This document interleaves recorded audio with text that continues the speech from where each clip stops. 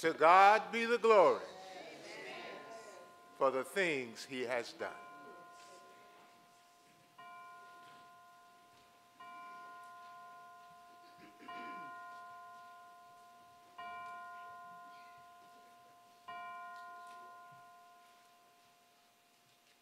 Good morning, church.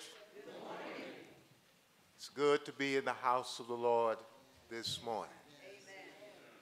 And it's good to see brothers and sisters in the house of the Lord as you gather for worship. Aren't you glad when you walked in the sanctuary, you looked around? Well, one person was, but you weren't the only person in the sanctuary when you got here. Amen. It's good to see you, and it's good to have those of you who are worshiping online. Shall we stand for the call to worship? Call to worship is found in the bulletin. Offer to God a sacrifice of thanksgiving and pay your vows to the Most High.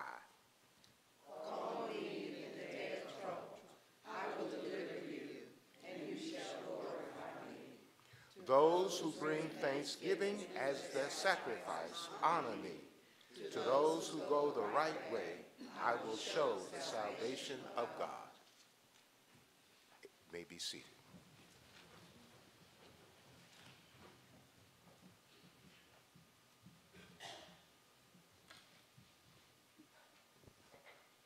Good morning.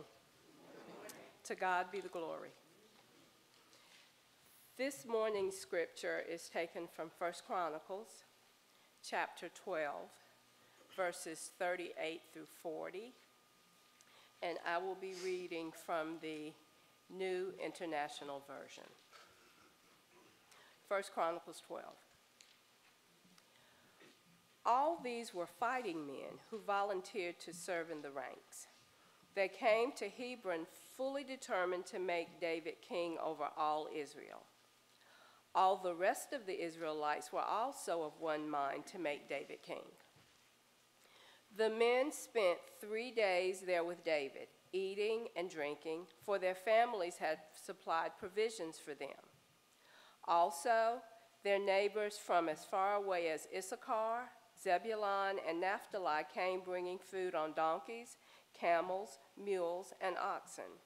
There were plentiful supplies of flour, fig cakes, raisin cakes, wine, olive oil, cattle, and sheep, for there was joy in Israel the word of God for the people of God. Thanks be to God.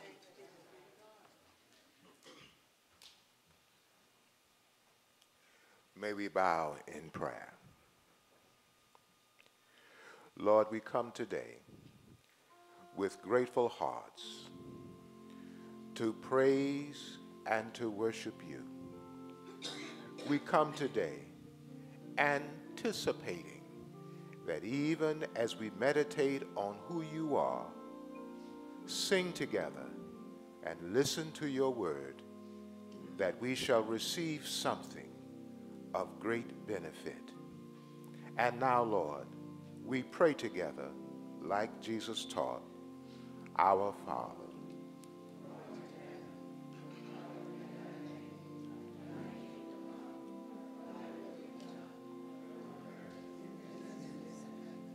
give us this day our daily bread, and lead us not that's against us, and lead us not into temptation, but deliver us. For thine is the kingdom, and power, and the glory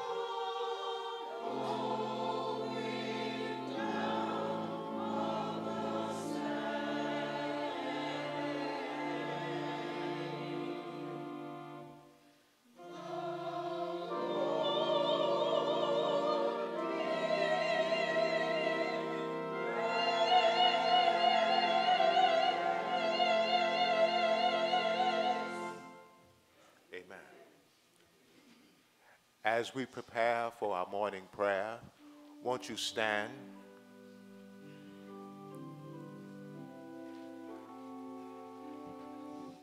We invite you to come to the altar as we prepare for prayer.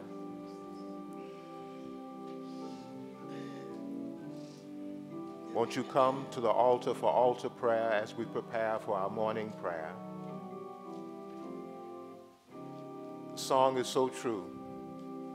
I need you, God, every hour.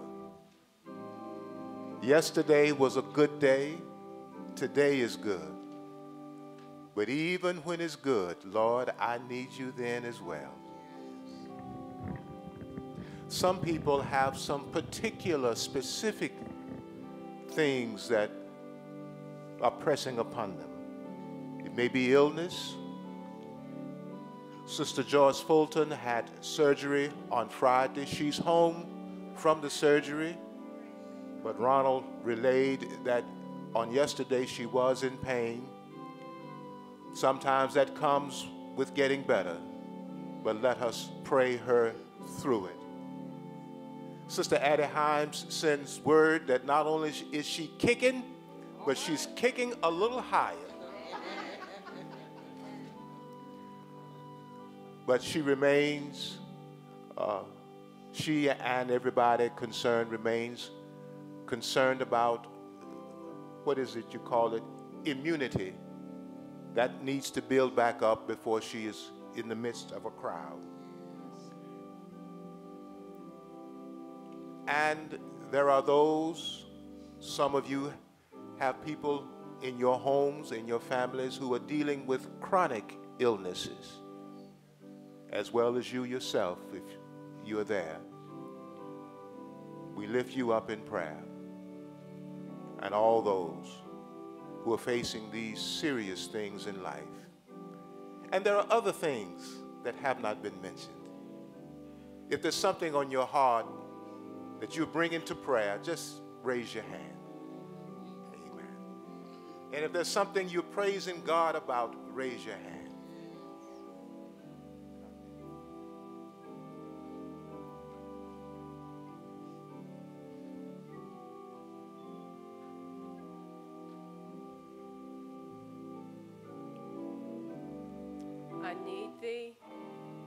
Every hour. We need thee every hour. Let the words of my mouth and the meditations of my heart be acceptable in thy sight. Lord, my strength, my rock, my redeemer, my confidant, my doctor, my lawyer, my all and all. Father, we stand, some are seated, just in reverence of you. Father, we start by just saying thank you. Thank you, God, that it is as well as it is. We thank you for your son Jesus, who died and thank God did not stay dead, but rose with all power in his hand. And we know that at any time you could have dispatched a legion of angels to come down and just take him up. But we thank you that because you knew that we would need him to intercede for us. You knew that we would need him to be there for us to lean on. You knew that we would need him for such a time as this. And so, with thankful hearts, we say, Thank you, God. If we had 10,000 tongues, 10 million tongues, it wouldn't be enough to thank you for all that you have done. Father, you have heard the names called on the sick list Sister Fulton, Miss Himes, There are those names that were not called, but God, you know them. And we thank you for what you have done, what you will continue to do. God, we thank you for the healings. We thank you for how not many, many weeks ago, Sister P, we stood and we had hands on her. And we thank you, God, for bringing her back. We know that it was nobody but you leading and guiding the hands of the doctor. And God, not just Sister P, but there are so many, so many that you have just healed. And you know, sometimes we know you work in your own way in your own time. It's not our time. And so, Father, we thank you for when it looks like the healing has not yet been manifest. We ask that you just help us to continue to walk by faith. Because, God, if we can see it, it's not faith. Father, there are those who have lost loved ones. And God, we know that your word says we all have to go there, and to be absent from the body is to be present with you. But Lord, because we are human, it hurts when we leave love, lose loved ones. So, Father, whether it is a recent loss or one that has been some time, God, we ask that you just continue, continue to wrap your loving arms around the families. And God, help us to be there for them in their times of need. Lord, we ask just a continual blessing for First Baptist Church, God, as we've moved forward to do that which you have called us to do. God, we ask that you bless every single member of First Baptist Church. That we will hear what it is that you want us to do. God, we ask a blessing on Dr. Campbell. We ask a blessing on Reverend Pettiford. We ask a blessing on all of the ministers, the officers. Lord, we ask a special blessing on the search committee. Because, God, we know that you have already ordained that person for our next senior pastor. God, help us to not get in the way and help us to truly hear from you. God, we ask that you continue to bless our children, the youth, those who think they're grown but are not necessarily there yet. And God, help us to be the examples for them so that they can truly want to be Christians, God. Lord, we look at the world, but it's your world. Because, God, you hold it in the palm of your hands. So we are going to thank you in advance for what you are going to do to right the situations. And God, I ask that you help us to have the courage to stand up and speak out and do what it is that thus saith the Lord. Father, for those things that I have not prayed for that we need, God, I ask that you continue to allow the Holy Spirit to intercede. Because, God, sometimes we just don't have the words. But you know each and every one of our hearts. God, we thank you. We thank you.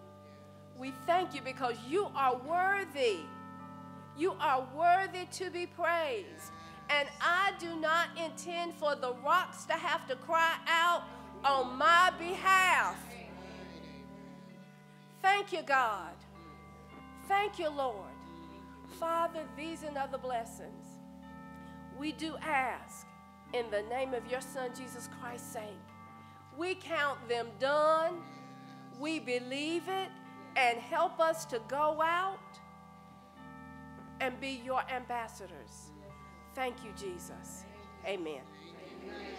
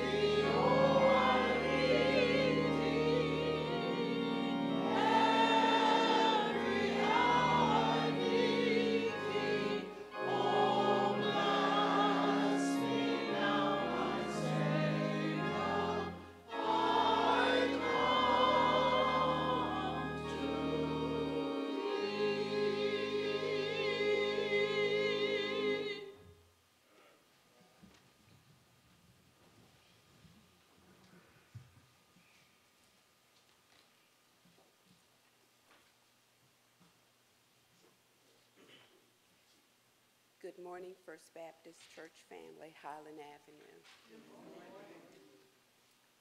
Do we have anyone visiting here with us today? If so, would you please stand?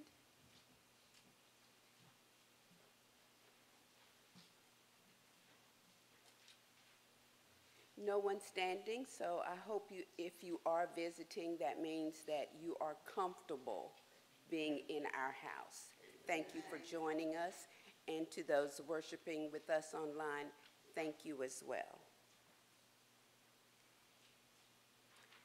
There are several announcements in the bulletin. If you would take time to peruse those announcements. There will be a reception fellowship for the new members who recently joined our First Baptist Church family. The reception will be held on Sunday, April 28th, 2024, following morning service in the Family Life Center. Please join in to welcome our new members.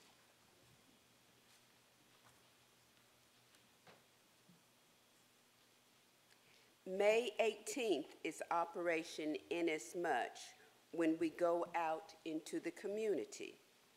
Auxiliaries will be able to pick up their packets this week.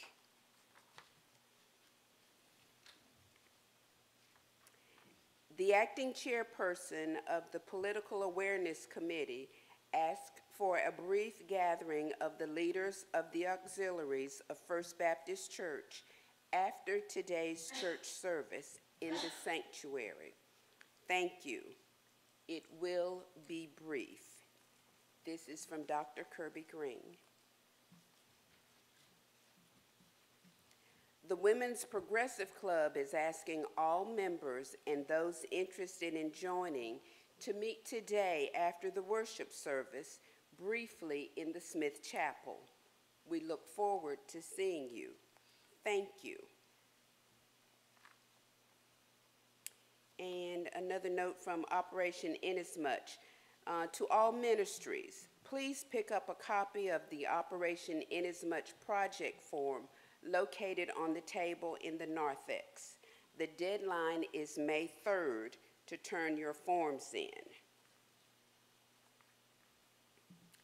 Our thought for this coming week. One of life's biggest tragedies is that we get old too soon and wise too late. Have a blessed week.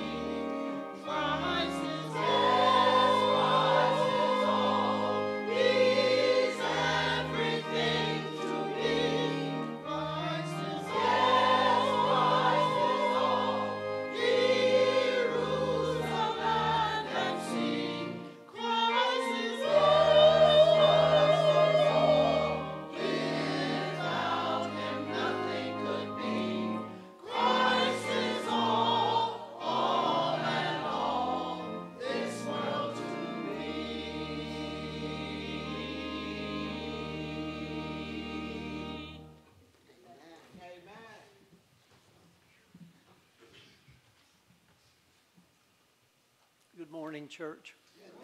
Uh, I asked for a moment today because I wanted to tell you that on July 11, last Thursday, I was inducted into the the Martin Luther King Jr. College of Scholars at Morehouse College.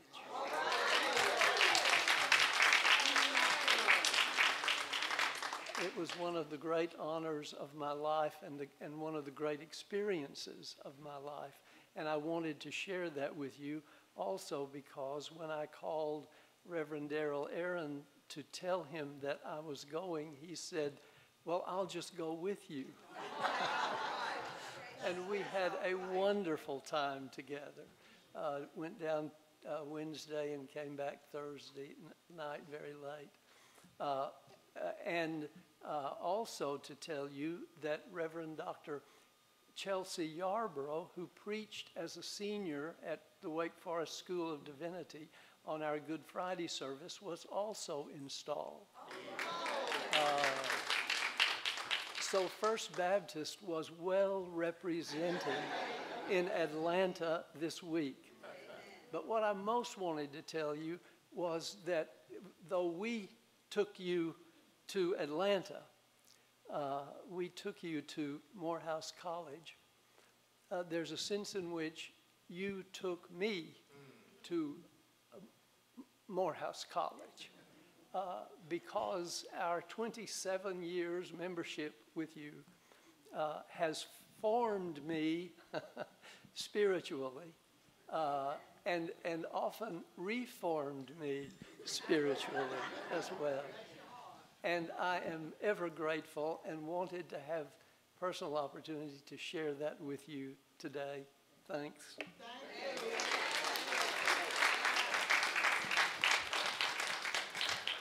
Amen. Dr. Leonard just taking over. he's already taken over Wake Forest. Now he's taking over Morehouse. Bless his heart. It is so good to be here again. I'm, I'm trying to be cute today. I got on shoes. Uh, I may be crying after the service, but I have on shoes. Uh, thank God again for uh, Sister Turner. Did I see you drive up today? Is she here? She's not here? They just don't want this certificate, huh? Okay, well, I'll put it back.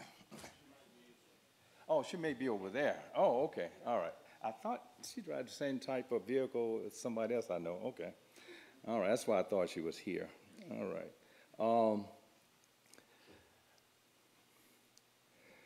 I want to continue to say thank you to all of you for uh, joining me and Reverend Pettiford in the sacrificial giving.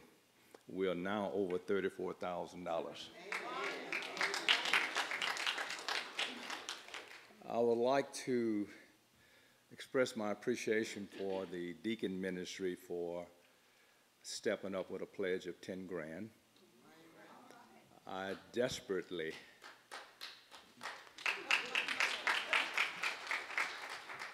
I desperately would like to see something similar from the trustees, uh, the Ursha ministry, and the other auxiliary leaders and their members, as well as individual members. And I'm asking you to do this for two reasons. Number one, first and foremost, for God, so that the Lord would have the honor and the glory. And number two, this is your church. So those are the two reasons. I don't know why uh, there would be any other concern, but if there is, please speak to me, Deacon Wall, or one of the deacons, if you have a concern. But one thing we do know, it has to be done. So I want to thank you sincerely uh, for those of you who have already given, those of you who are pledging to give. Um, those who are sick and shut in are having a good, had a good week. Uh, Sister uh, Tendo, who we have adopted, uh, she was one of the worst patients besides me. Uh, but she's coming along, her family says. Um, uh, Brother Billy Griffin says that uh, Sister Griffin is making tremendous progress. And um, Sister P is here today. Uh, she's going to make a statement in a minute um, to the church. I, I just think we have to give people their flowers while they are alive. Uh, she, she has been a tremendous asset to this church family in so many ways. Um, I want to continue to encourage you to participate in one of the Sunday school classes and in Bible study. If you have to choose between the two, I encourage you to choose Sunday school. That's the only systematic teaching ministry this church has. And if you want to learn the Bible, if you want to grow spiritually, become a part of the Sunday school uh, ministry. Uh, Reverend Joel Weathers is here today. He's next door in the chapel with the young people. So he is um, continuing to ask prayers for his sister. And also, he is continuing his commitment. I, I just think that that's something to be said for folks who keep their commitment. Too many wishy washy, immature Christians. They're here today, gone tomorrow. They're here when they can have their way, not here when they can't have their way, and all of that foolishness. But I thank God for those of you who are committed. Because your commitment is not to me, it's not to the deacon ministry, it's to God Almighty. That's who you got the answer to. Sister P, could you run on down here, please? Run. This lady give me the blues at times, but I love her to death. Thank God for her. I'm gonna come down here so she won't run. Grab this mic and whatever you want to say to your church family is all right with me. Good morning, First Baptist. When I was here the fourth Sunday in February, I did not know truthfully if I would be back. If I was back, I did not know what shape I would be in. But I'm back. I'm walking. I'm talking. Thank you, God. And trust me, it's a two-way street. You're supposed to be talking to the church. See what I mean? when I left here, I left with the prayers of the church. If it had not been for your prayers and everything else that you have done for me, I don't know where I would be right now. It's been a tough six to eight weeks. As he has said in his sermons, there were days when I couldn't do anything for myself. I've been released from one doctor, but I still have two more to answer to because there are still some problems that exist. On the morning of my surgery, Dr. Leonard was at the hospital at 6 o'clock in the morning. Before 6.30, Reverend Campbell had called me. You don't know what that meant to me. Reverend Pettiford has visited me. Many of you have visited me, called me, text me, given me food, just anything that you could do to uplift me. I can truthfully say, if it had not been for my church, I may not be here. I was told before the surgery that if I didn't have it, that I could possibly die. God wasn't ready for me because I told somebody I was too stubborn not to get well.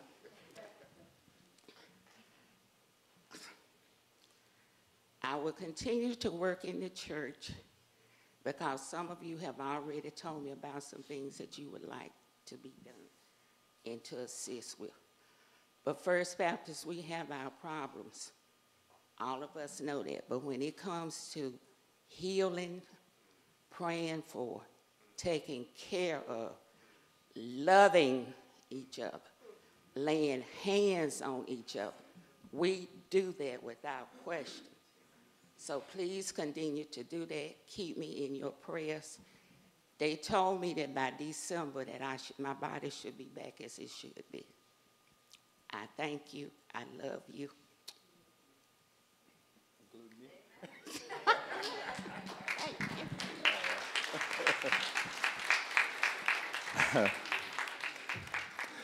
I feel like going on. I feel like going on. Though trials on every hand, though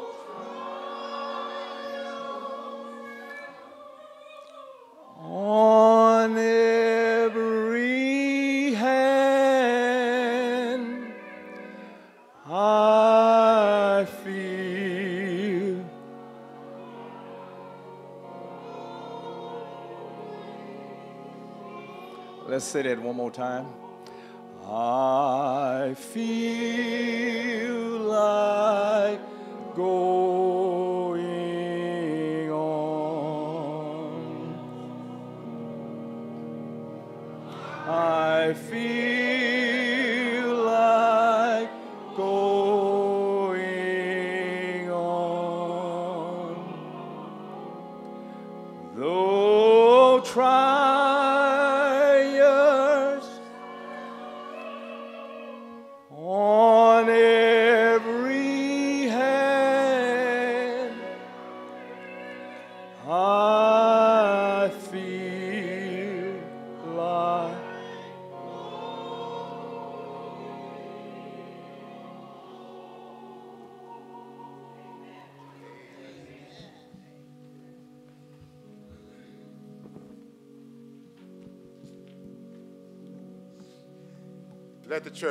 amen.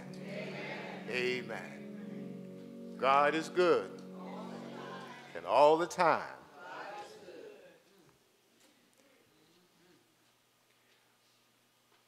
We welcome those who are at the door to come in, if there are any. I, I just mentally make a note. Strike out offertory on the bulletin and mentally insert these two words happy hour.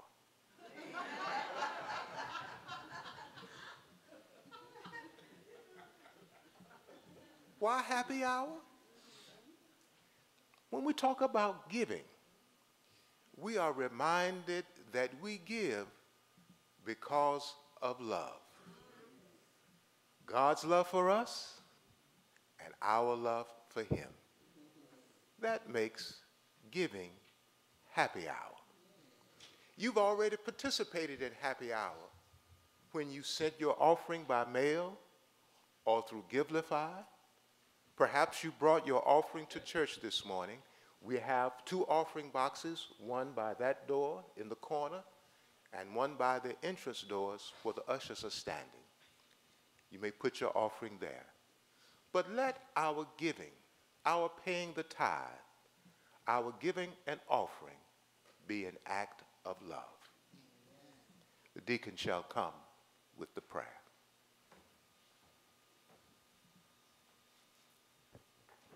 Let us pray.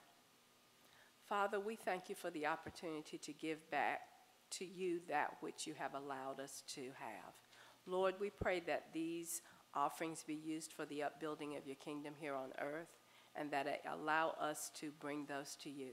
Lord, strengthen our faith so that we will trust you and try you and just see if you won't open up the windows of heaven and pour us out blessings that we cannot even stand to receive. Father, these and other blessings we ask in the name of your Son, Jesus Christ's sake. Amen.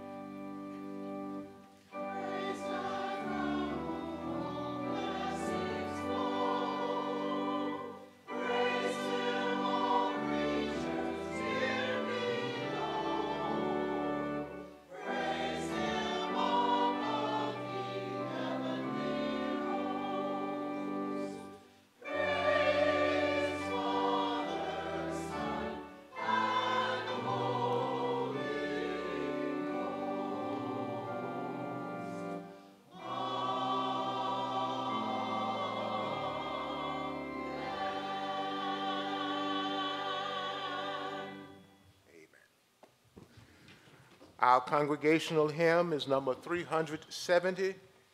All my help comes from the Lord. Let us stand and join the choir.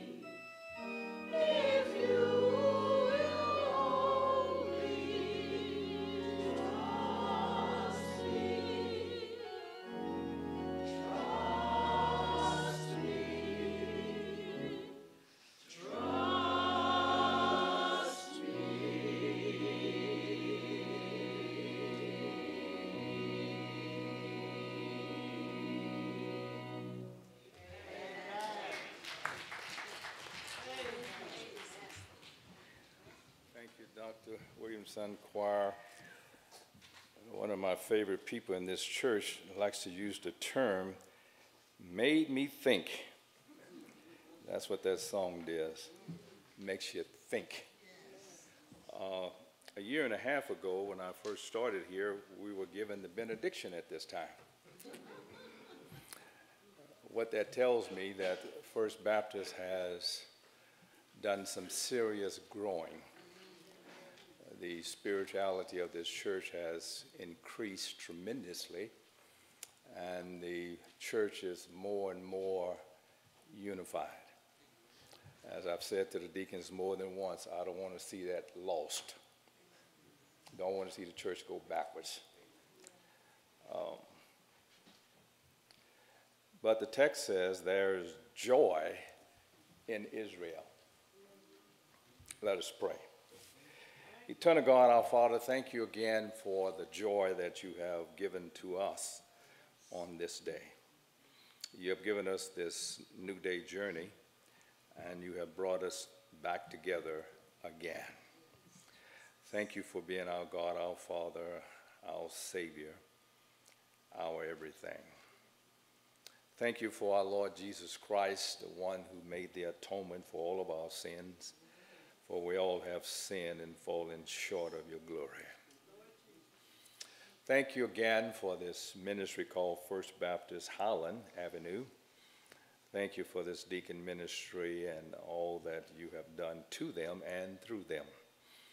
Thank you for the women's progressive ministry that I shared with on yesterday. Thank you for their commitment. Thank you for their contribution to this ministry. But I thank them, O oh God, that they allow you to use them, to speak to them and speak through them. Thank you for those who are online listening to this worship experience. I pray, O oh God, that something would be said that would help somebody, that would encourage somebody. Thank you for all of the hymns and the prayers that have gone on before me. But now I pray, O oh God, during this preaching moment, that you would use your spirit to speak to us. Allow me just to be the instrument, the channel, that your word may go forward in a mighty way. That you might speak to this congregation by lifting them, loving them, and leading them in the way that you would have them to go. Thank you for the youth and the children ministry over in the chapel. I pray, O oh God, that you would bless and that you would continue to use them in a special way. This is our prayer in your name. Amen. Amen. Verse 40 ends with the words joy in Israel. Uh, my boss is here today, as you know, uh, so I'm going to be on my best behavior. This, uh, this text is all about unity, something that this church is striving for, and all of us who are members of the kingdom of Jesus Christ, we're striving for unity. Some time ago, James Harris Jr. and Russ Redhead were pool partners, if you will. They participated in various tournaments, but Redhead was a far superior pool player. So in the tournament, the last tournament that they had participated in against one another, the organizers gave James Harris Jr. a 20 point handicap. And unfortunately for Russ Redhead, he was beaten and he charged it was because a black man had been given an advantage. So he got on uh, Facebook, Deacon Pam, and he broadcasted all over the place that this black man had been given an advantage and had taken something away from me and from us. Needless to say, the comments were quite vile, quite profane, and very nasty. As time went on, James Harris Jr. had a failure of both of his kidneys. And they started advertising all over the place, trying to find someone that would match, that would be willing to share one with him so that he might live. As the Lord God would have it, James Harris's wife ran into Russ Redhead, poured out the story in tears, letting him know that the man that she loved was about to die.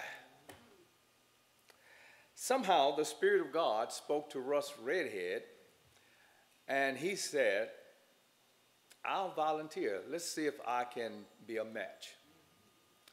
And lo and behold, he was. So he went and made the donation of one of his. And to this day, James Harris Jr. was able to survive.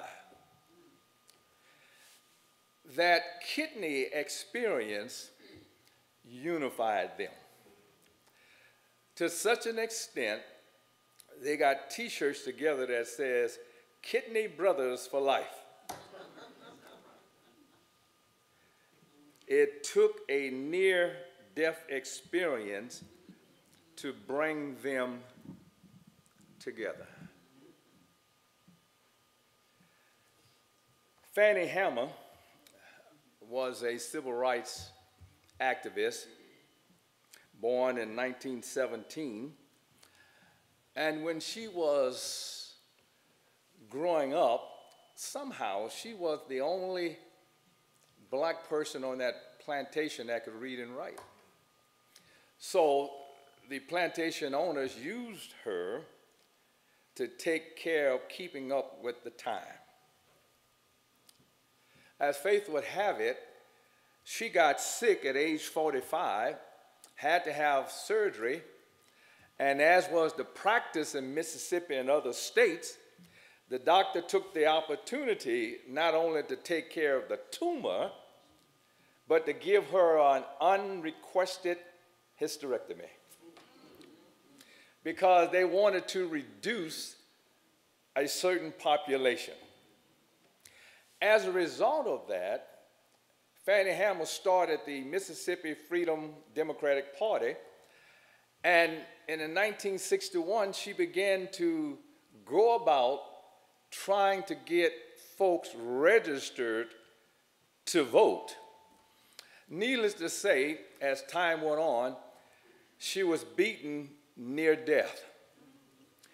But she kept founding one organization after another, trying to help folks not just to vote, but economically, educationally.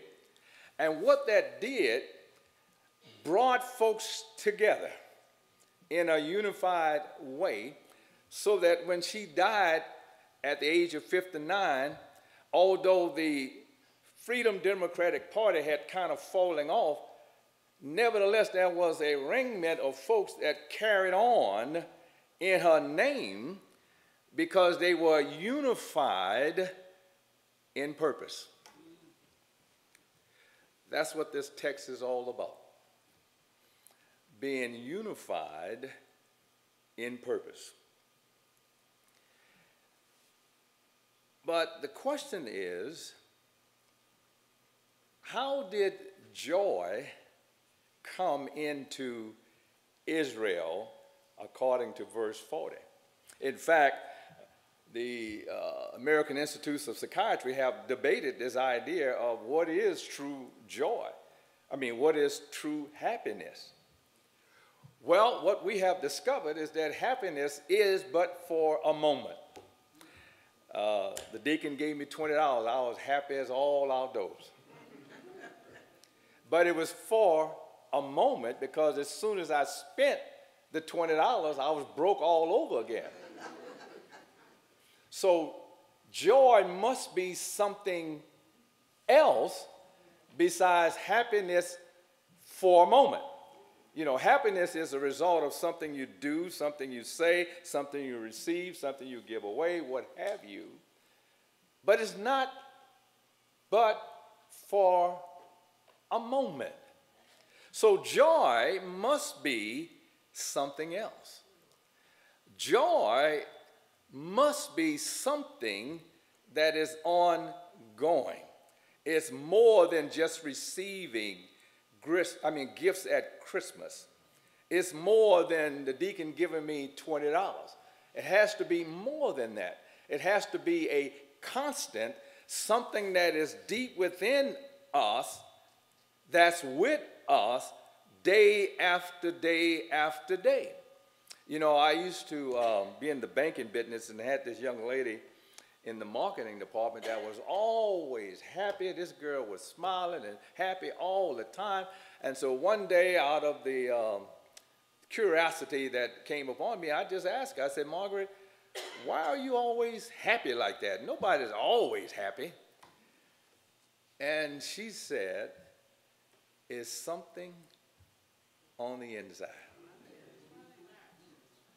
It has nothing to do with what's going on outside It's something within me. I think the songwriter says, I cannot explain it. It's, it's, it's something within. So there was something within Israel that caused joy to come in the land.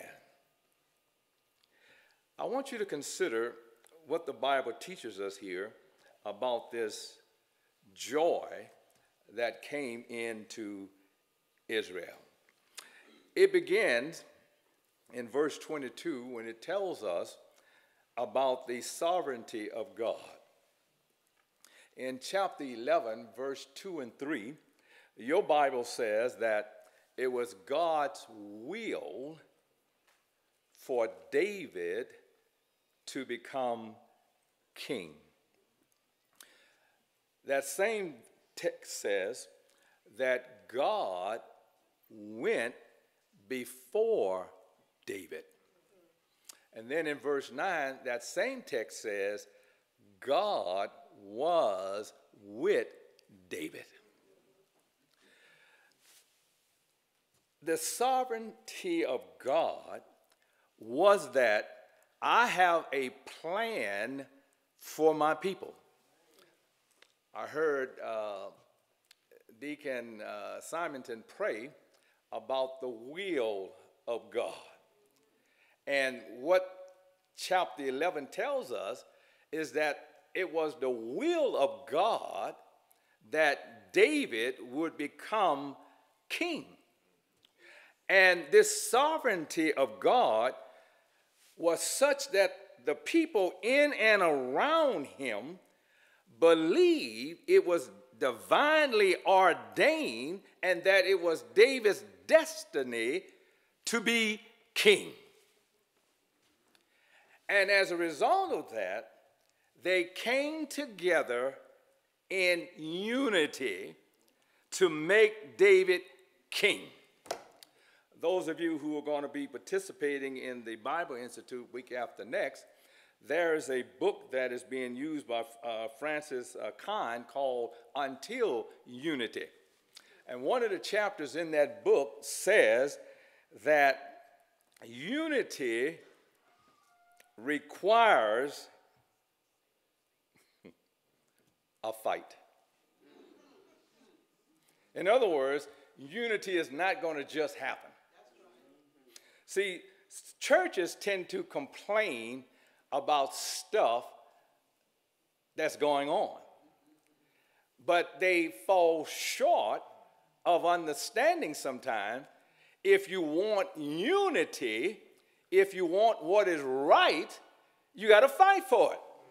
It ain't going to just happen. Uh, I remember helping a church down in Florida, and uh, the good old deacons had taken over. They had all the power, all the authority. They were saying, We're going to do this, we're going to do that.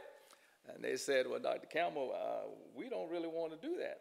And I said, I can't fight for you. You got to fight for yourself. And they said, Well, what do you mean? I said, Well, as far as I can tell, your name is on the membership roll, not mine. So, since your name is on the membership roll, that says that you are a member of this church and that you have a vested interest in the church. So, if you have a vested interest in the church, you got to be willing to fight for what's right for the church. Well, these people here recognized the sovereignty of God and they were willing to fight. Unity, brothers and sisters, doesn't just happen. Joy doesn't just happen. If you want something bad enough, you got to fight for it.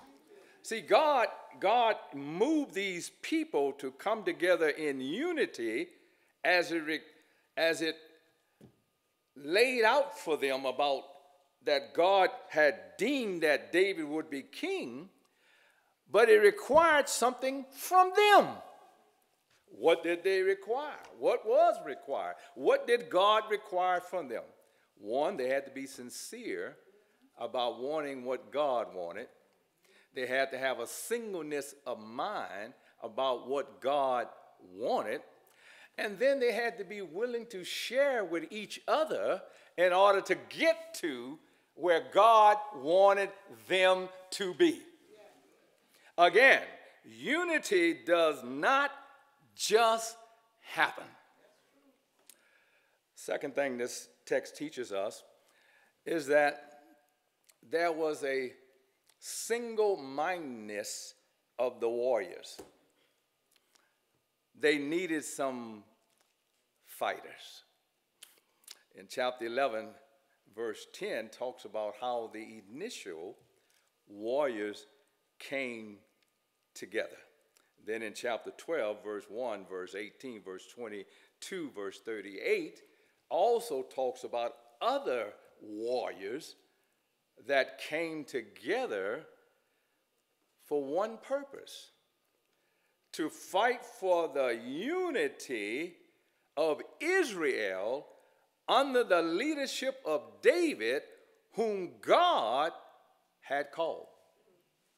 See, if you think back, Bible readers, in chapter 10 of First Chronicles, the Bible says that Saul had broke from God. In other words, he was disobedient to God, and then he had the audacity to observe demonic spirits. He got involved with idol gods, so your Bible used those words. Saul broke from God. Saul broke with God. And every time you turn your back and get involved in that which is ungodly, you are breaking from God. These warriors were prepared. They brought, they provided what they needed to go to battle with, and they had a singleness of purpose. The same thing applies to you, First Baptist. If First Baptist is going to make it another 144 years, you better have preparation, you better provide what this church needs, and you better have the same unified purpose. No divided church, the Bible says, can stand on its own. You can't be at the divided house and stand. Those of you who have a singleness of purpose, you better stand together or First Baptist is going to fall. I told you every time I stand here, I would tell you the truth. Saul fell. He was disobedient and he got involved in demonic spirits. But here's the good news the folks that wanted what God wanted kept coming. You start in chapter 11, verse 1, all the way through the end of verse 40 of chapter 12, all the way through chapter 13, all the way over till the, the verse ends with David dancing in the streets. They kept coming. What that tells me is that when people sense that the will of God is being done, they're going to come. They're not going to come to a divided house, but they will come to a unified house. They'll do that. If they sense God is here, they're going to come. That's what Henry Blackaby said long time ago in that class down in Atlanta. He says, Look and see where God is working and hurry up and get there. That's what he said. That's why I'm so excited for the auxiliaries doing what they're doing. They're starting to do things, and I'm, I'm really, really happy and excited about that. Before you guys fell out with Bill Cosby, did you know in the 1950s Bill Cosby was a physical therapist? And he says in that business, it was really, really hard. It was long hours, it was tiring, it was exhausting. And he said one of the things that struck him was the people who needed physical therapy the most kept coming. They just kept coming. No shortcuts, they just kept coming. He said, We were exhausted, but the people kept coming. So he says, We had to make a decision to keep keep going ourselves. What does that say to First Baptist? If the people are coming, you better keep going. Whatever it is you're doing that's causing people to come, you better keep going because they're not going to stop coming as long as they see God here at First Baptist. How do you think this church made it 144 years? Because somebody saw that God was in this house. And so they started coming, they started coming, and they're still coming. The only thing they're waiting on is to see the God that is in you. That's the only thing they're waiting on. They're waiting to see the God that is in you.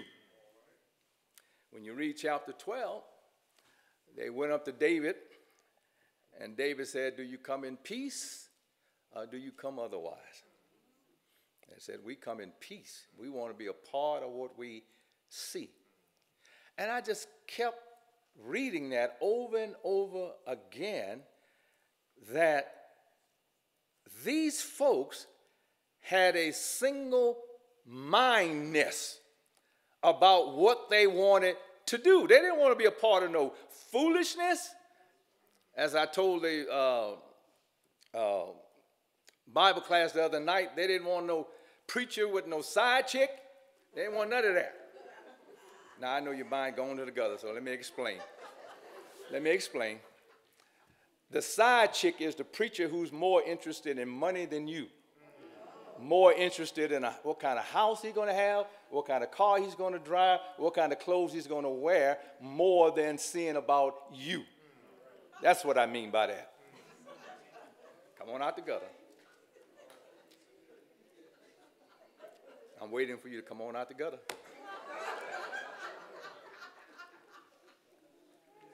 You got to have a singleness in terms of people wanting the same thing. And these warriors in chapter 11 and chapter 12, they all wanted the same thing. Then when you get to verse 40, you see the, the saturnalia of people who just got caught up in celebrating. You do know that a Christian is both a noun and a verb. It's just not just the name of something, of someone. It also means that you're doing something. Um, you've heard me say this before. There's nothing that is more offensive than people walking around with titles doing nothing. One of the things First Baptist doesn't need is one more bench member. I was ordained at the Bible Way Church uh, a couple of years ago, and um, I remember Pastor Davis got up and said, If you're going to be a member of this church, you got to be involved. And sure enough, they give you three months before they check in on you. And if nothing happens at that point, they give you three more months. And then they give you another call and said, maybe this is not the church for you. We don't want any bench members. We want real Christians who are committed to what the Bible tells us. Go ye therefore. What good is it to brag on your numbers if you're doing nothing? So joy came, according to verse 40, because they were undivided in their attention. They were paying attention to the movement of God. They were so prayerful, they can sense the movement of God. You have to go back to chapter 10 and come forward to see that.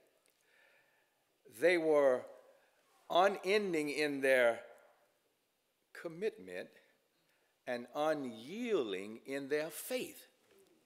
Nothing was more important to them than giving themselves over to the will of God. Mullany Hauser wrote a book, and in the book she says, These guys are good. And she said this It is not what you accomplish in life, it's what you have overcome. I can't speak for you, but I know I have come a long ways what you call that big tub everybody used to take a bath in. We had, had one of those. Been outside to go to the restroom and all kind of stuff that to me was inhumane. Took some serious beatings from Gloria Campbell. You know, they'll put you under the jail for some of that stuff now. I have come a long ways an abusive father. I just wasn't old enough to hurt him. But he abused my mother in my presence. I just wasn't old enough then. I have come a long ways. Didn't know how I was going to make it. I started working in elementary school riding a bicycle delivering groceries. I have come a long ways.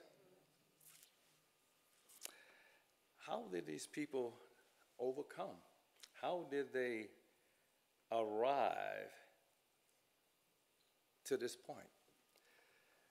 You have to be aroused in your spirit. You have to be attentive to God. God is constantly speaking to us. But the one thing that drove all of it, they wanted to go home. And the Bible says that as David was holed up, hiding, trying to avoid Saul, every time he and his warriors captured land, he kept expanding his territory. And the city of David kept growing and growing and growing because these people were unyielding in their faith. Why aren't, why is not, why First Baptist is not doing the same thing? These folks were unyielding in their faith. They were not going to give in to anything until they got home. So when they got home, joy was in Israel. It's not what you accomplish in life, it's what you overcome. David had to overcome a lot just to survive. The people had to overcome a lot just to get home. But David didn't make it, the people didn't make it until there was unity in Israel. That unity became about because the people believed God. The people allowed God to choose the leader. The people allowed God to make the choice. The people allowed God to bring them through. Every time I have tried to make my own way, I have fallen on my face. But when I left it alone, left it alone, left it alone, got out of the way, God made it happen. That's the problem with churches today. Everybody know how to do everything. And one of my biggest complaints about this church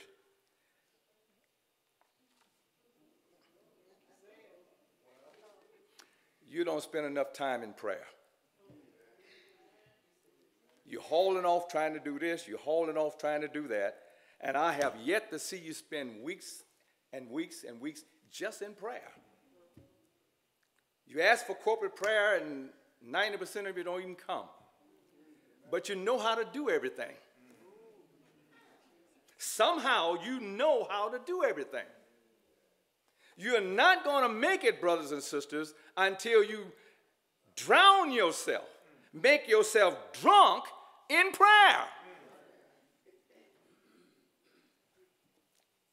These people spent time in prayer. These people gave themselves over to what God wanted them to do. The end result was joy and unity. Can you say the same? Can you say the same? Like a ship, tossed and driven, battered by an angry sea. Hmm. And though those, that storm is raging and that fury falls on me, the songwriter says, I look up and wonder what I have done to make this race so hard to run. That's what you ought to be wondering. Why you make this race so hard to run?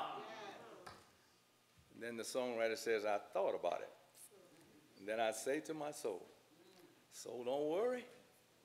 The Lord will. The Lord will. Not A. Ray Campbell, not First Baptist. The Lord will make a way somehow. Amen.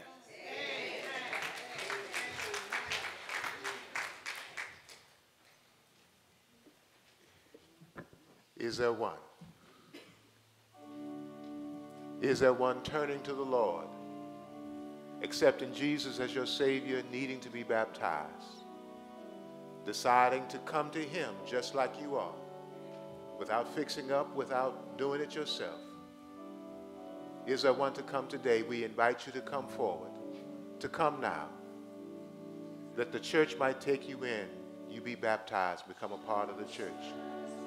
Is there one deciding to join the church by way of Christian experience? We welcome, we invite you to come. Is there one today? If you're worshiping at home, get in touch with us and let us know that we might walk together.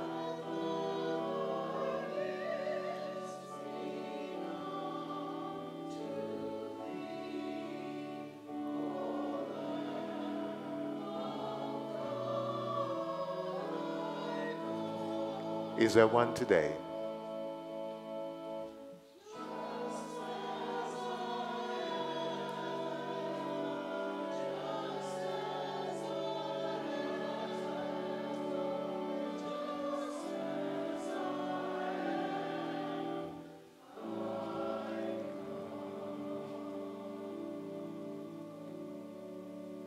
Choir, could you sing the fourth verse just for me?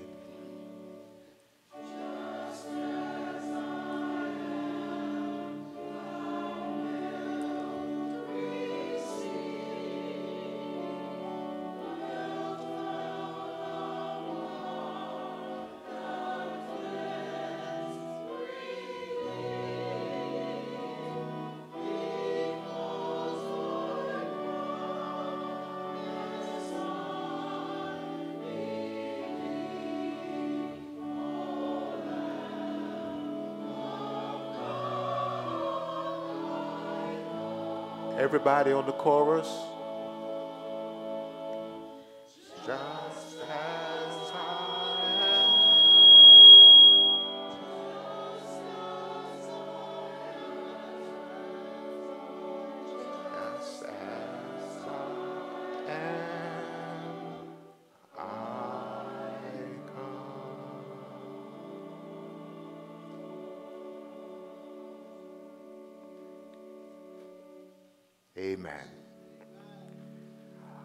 Closing hymn, Glory, Glory, Hallelujah.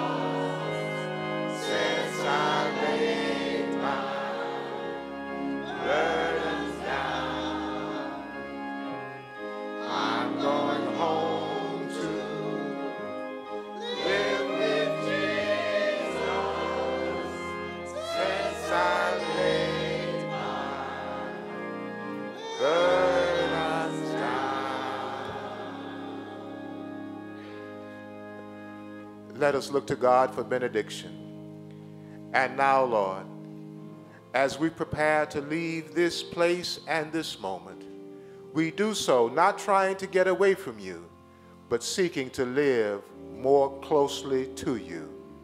In the name of the Father, the Son, and the Holy Spirit.